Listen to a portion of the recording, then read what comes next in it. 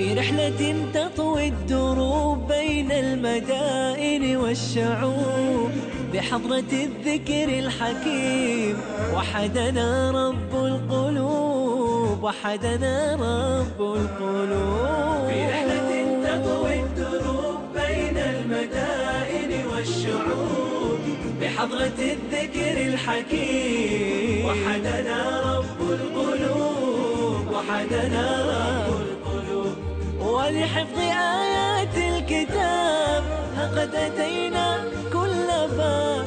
نمضي على درب الصواب من قبل أن تجلو الخطوب من قبل أن تجلو الخطوب. في رحلة تطوي الدروب بين المدائن والشعوب. جميل جدا وأنت تحفظ القرآن. هناك عوامل إحنا قاعد نذكرها هي تساعدك. على تسهيل حفظك على تثبيت حفظك على إتقان حفظك. من هذه الأمور المساعدة والوسائل المساعدة أنك أنت تفهم القرآن. شلون؟ اليوم أنت عندك وجه تبي تحفظه. وأنت تحفظ هذا الوجه افتح التفسير معه. ويا كثر التفاسير اللي عندنا. مو التفاسير في الكتب بس الحين في الأجهزة موجود. اليوم أنت فاتح الجهاز سواء الآيفون أو غيره تدخل عليه تكتب أي صفحة أنت في القرآن تقرأ تفاسيرها تفهم الآية. أنا بس أقول لك جربها. اللي يحفظ القرآن واللي حفظ القرآن واللي تعلم القرآن خليه يجرب. إنه لما يحفظ صفحة واحدة من القرآن أو هو يراجع خليه يقرأ التفسير. مجرد فهم. راح يعرف إن القرآن هذا قاعد يثبت في قلبه من غير ما يشعر. ويكون حفظه أفضل من غيره. والدي رحمة الله عليه كنت في أيام اخطئ في القرآن لما صلي التراويح والقيام فناداني قال لي تعال فهد.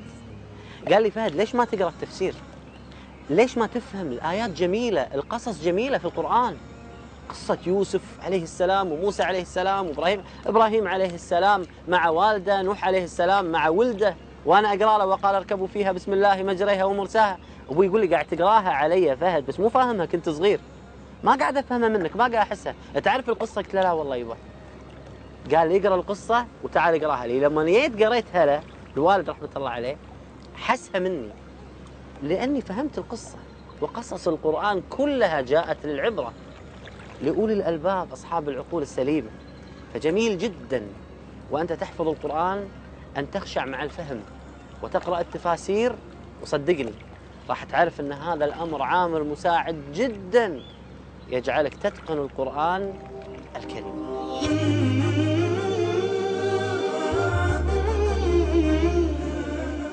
من أجمل المراكز القرآنية في إسطنبول وأكثرها نشاطا وتخريجا للحفظة إنه مركز الجامع الأخضر الذي يديره الشيخ عبد الله أسطى واطلعنا على تجربتهم في التحفيظ والتعليم القرآني وكان لي لقاء جميل جدا مع بعض مدرسي هذا المركز المتميز.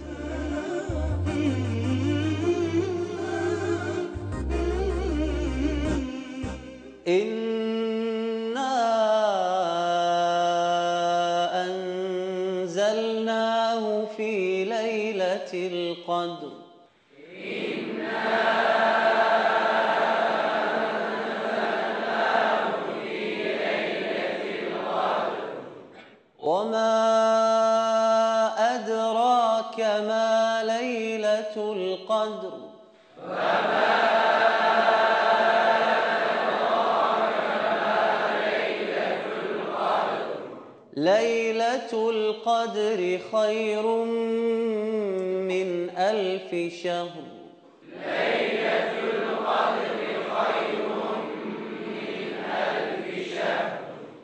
تنزل الملائكة والروح فيها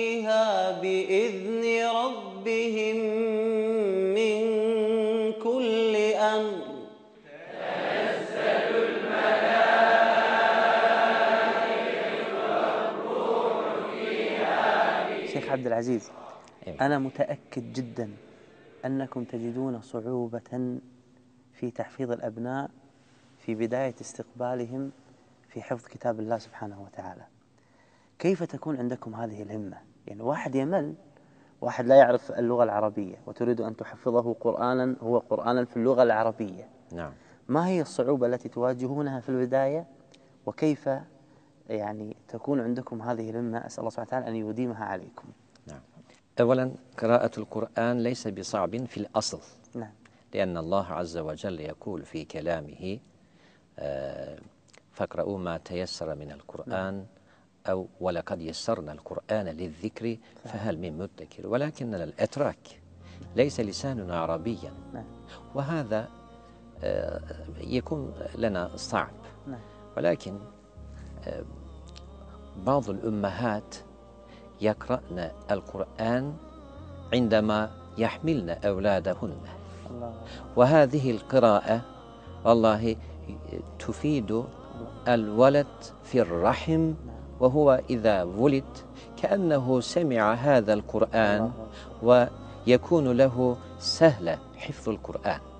وهذا مجرب شيء مجرب الحمد لله هذا نقول الأمهات أن يسمعون الآن.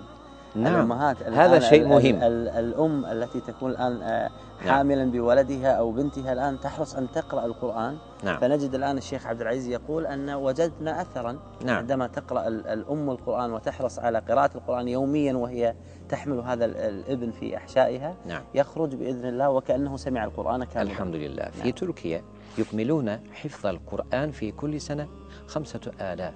الحمد كل سنة لله. عندكم. كل سنة.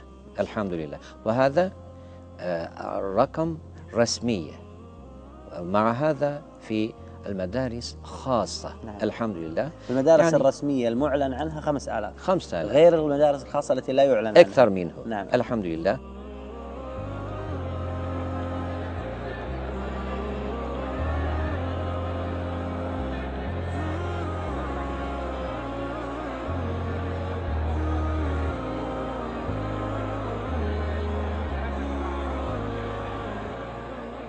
القرآن الرائعون الذين عندكم في هذا المركز القرآني الذين شاهدناهم وتقطعت قلوبنا وفرحنا برؤيتهم. آه، ما هي الطريقة عندكم في تحفيظهم القرآن؟ طريقة تحفيظ القرآن الكريم أولا يبدأ من تعارف حروف القرآن الكريم. يعني ألف باء تاء هكذا. لأن طلاب التركية لا يعرفون اللغة العربية. نعم نعم. يجب عليه أن تتعارف حروف القرآن. نعم. بعد هذا تبدأ قراءة بالسهولة طيب كم يستغرق وقت تعليمهم الحروف؟ أي ألف؟ باء نعم. تقريبا عشرين أيام. نعم. وبعد هذا تبدأ قال الذين كفروا للذين هكذا. نعم. تقريبا شهرين. نعم تدريج. أيوة. بالتدريج تدريج. حتى يصل إلى هذه المرحلة بعد شهرين. أيوة. نعم. القراءة يجب أن تقرأ بالتجويد. نعم. آه، في آه، تركيا تجويد آه، ألف باء يعني كتاب الألف باء بالتجويد. نعم. مد طبيعي مد متصل مد منفصل مد لازم. نعم. هكذا آه، تقرؤون الكلمات مع تعارف التجويد. اعتز بك في هيبتك في تحديك وامشي على أمرك بسمع وطاعة. لو ضاقت الدنيا وجدت الأمل فيك قد المجرة والفضاء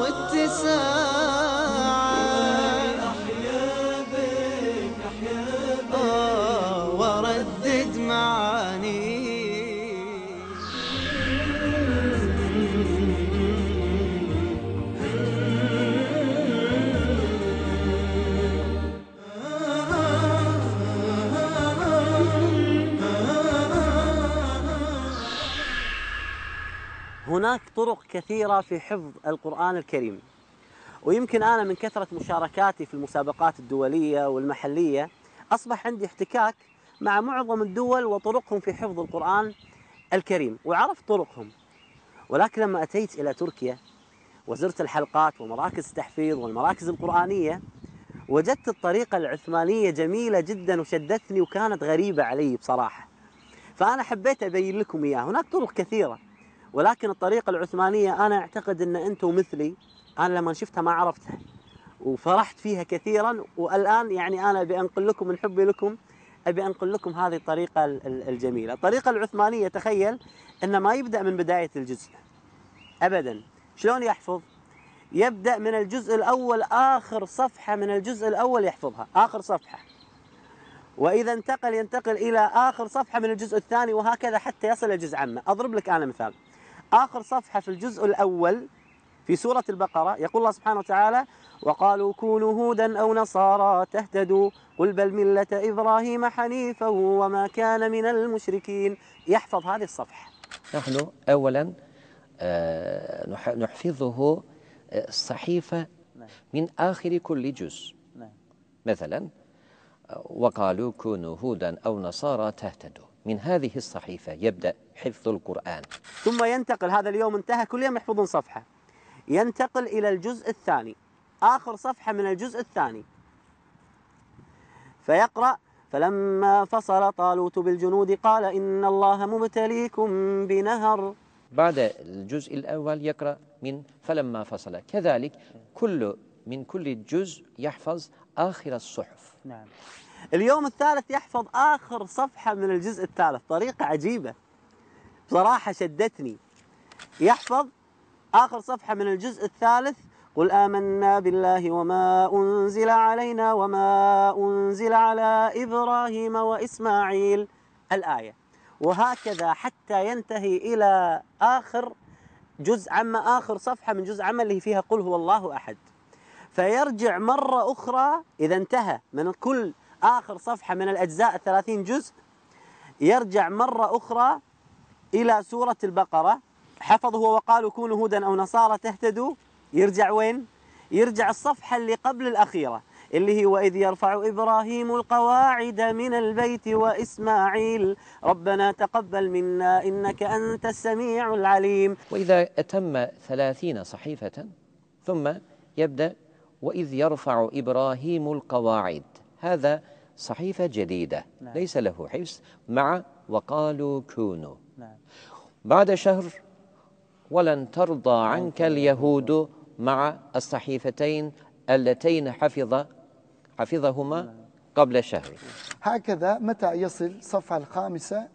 يكون آه، ربع القرآن حافظ ربع القرآن. ما شاء الله. متى وصل الصفحة العاشرة؟ يكون صف- صفحة آه، حافظ نصف القرآن. نصف القرآن.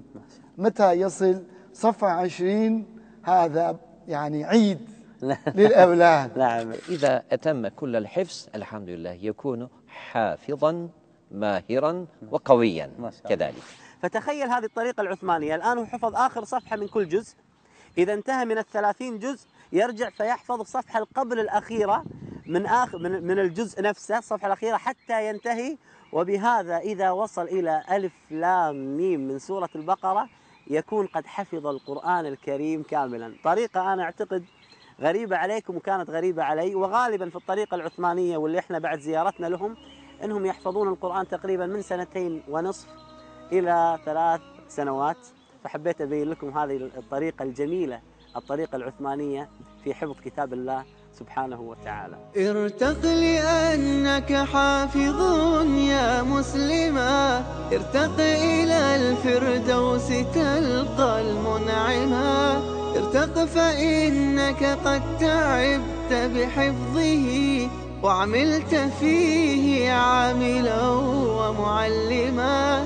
ارتق فإنك قد تعبت بحفظه وعملت فيه وعملت فيه وعملت فيه عاملا ومعلما. اتفقت أنا معاكم على أمر مهم جدا. إحنا اتفقنا أن حفظ القرآن مهم ولكن المراجعة أهم. لأنك من غير ما تراجع القرآن لا يمكن. أن تستمر مع رحلتك في حفظ كتاب الله سبحانه وتعالى. وأنا وعدتكم أني راح أعطيكم خطة للمراجعة. تكون خطة المراجعة اليومية وخطة المراجعة الأسبوعية وخطة المراجعة الشهرية. خطة المراجعة اليومية أنك يا حافظ القرآن واللي قاعد تحفظ القرآن لا تراجع في اليوم أقل من جزء. الواحد يقول لي أنا حافظ أقل من جزء. شيخ فهد شو أسوي؟ أنا أقول لك إذا حافظ أقل من جزء راجع حفظك. أما إذا حافظ جزء وأكثر في اليوم لا تقل مراجعتك عن جزء في كتاب الله سبحانه وتعالى دائما. خطة المراجعة الأسبوعية. هذه الخطة أنت تحسب في الأسبوع شنو حفظت؟ المقرر اللي عليك عندك يومين ثلاث أيام أربع أيام في الأسبوع شنو حفظت؟ في نهاية الأسبوع تختار لك يوم حتى لو ما تحفظ فيه تراجع فيه كل مقررك في الأسبوع. خطة المراجعة الشهرية تراجع أقل شيء خمس أجزاء ونفس الشيء نفس ما تكلمنا. إذا أنت حافظ أقل من خمس أجزاء راجع حفظك كله. إذا أنت حافظ خمس أجزاء راجع الخمس أجزاء. حافظ أكثر راجع خمس أجزاء في الشهر. اختار لك يوم. هذه الخطط اللي أنا أعطيتك إياها تخليك دائما مع كتاب الله سبحانه وتعالى. ما تنسى القرآن اللي إحنا قلنا يتفلت كتاب الله سبحانه وتعالى. إذا ما كنت مع كتاب الله سبحانه وتعالى الحفظ يروح عنك لأن كتاب الله سبحانه وتعالى عزيز. الخطط الخطة اليومية جزء الخطة الأسبوعية تراجع شنو أنت حفظت في الأسبوع وخطة المراجعة الشهرية أقل شيء خمس أجزاء. وصدقوني ترى خمس أجزاء مو كثير. أنت تقول شلون أراجع خمس أجزاء؟ ترى في ناس وأنا قابلتهم يراجعون في اليوم الواحد خمس أجزاء. كتاب الله سبحانه وتعالى ميسر الله يوفقنا ويوفقكم يا رب العالمين. في رحلة تطوي الدروب بين المدائن والشعوب وبحضرات الذكر الحكيم وحدنا رب القلوب وحدنا رب القلوب. ولحفظ آيات الكتاب هقد أتينا كل باب. نمضي على درب الصواب درب الصواب. من قبل أن تجلو الخطوب ولحفظ آيات الكتاب. هقد أتينا كل باب. نمضي على درب الصواب درب الصواب.